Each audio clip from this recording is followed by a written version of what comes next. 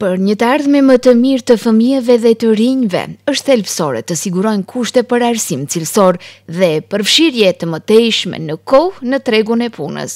Kjo ndër të tjera u theksua në konferencën lokale të mbajtur në Gostivar, të titulluar Komuna kushtuar fëmijëve. Në këtë event morën pjesë përfaqësues të vetëqeverisjes lokale, shkolla, organizata joqeveritare, të rinj dhe fëmijë, ndërsa u organizua nga Ambasada e parë e fëmijëve në botë Megjashi. Dhe kodesa tani se zadovollni ju dona karish të gjithëve aty rabotët. Nëse fëmijët nuk janë të kënaqur me kushtet ku jetojnë dhe mësojnë, ata sigurisht se do të mendojnë të largohen.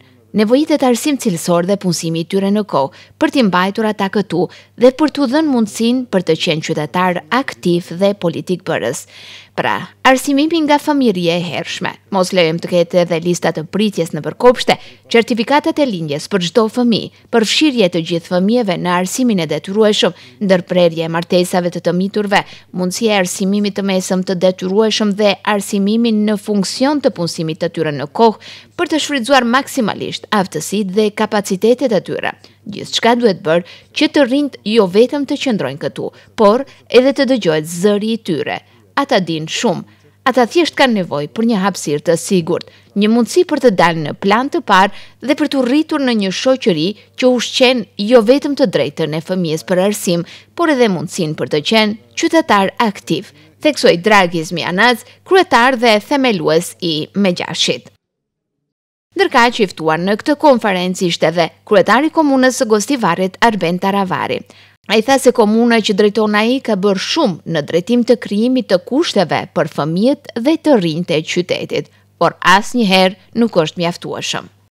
Sot si mysafir në këtë panel diskutim, dua t'i tregoj gjërat të cilat i ka bërë komuna e Gostivarit në këto gjashtë vjet e gjysmë, investimet në çerdhe për të përmirësuar kushtet në çerdhet në Komunën e Gostivarit, gjithashtu investimet në shkolla, posaçërisht për fëmijët me nevoja të veçanta për të cilët janë bërë kushte gati se në gjitha shkollat në Komunën e Gostivarit, po ashtu edhe gjitha projektet me të cilat i kemi përmirësuar kushtet në shkollë për fëmijët dhe për të rinjtë, po gjithashtu edhe qendrat rinore në të cilat kemi investuar goxha në periudhën e fundit dhe mendoj se jemi ndër komunat që më shumti ka bërë në këtë drejtim.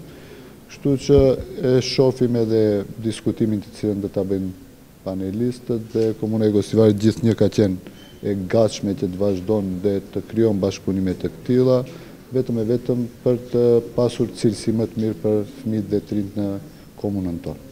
Në këtë konferencë u diskutuan tema që prekin fëmijët dhe të rinjtë si dhuna e bashkëmoshatarëve, të drejtat e fëmijëve me nevoja të veçanta, zgjidhja e problemit të qenve endacakë si dhe rëndësia e bashkëpunimit mes shkollës dhe familjes, Gjithashtu, grupet e nxënësve, përmes vizatimeve, përshkruan se si e shohin të ardhmen në Gostivar dhe çfarë ndryshimesh do të donin të bënin. Ata ia dorëzuan vizatimet kryetarit të komunës me përgjegjësinë që vizionet dhe dëshirat e tyre të jenë prioritet në aktivitetet e ardhshme të komunës.